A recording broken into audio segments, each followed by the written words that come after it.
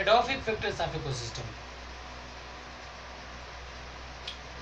इसमें पीडोलॉजी और पीडोलॉजी की जगह ज़मीन का साइंटिफिक स्टडी को हम क्या कहते हैं? पीडोलॉजी पीडोजेनिस मट्टी के बनने की जो प्रोसेस को हम पीडोजेनिस कहलाते हैं बड़े बड़े चट्टान होते हैं, वो टूट फूट कर मट्टी बन जाते हैं, और इसको हम क्या कहते हैं? पीडोजेनेसिस और ज़मीन का साइंटिफिक स्टडी को पेडोलॉजी आई एम श्योर के अंडरस्टैंड यू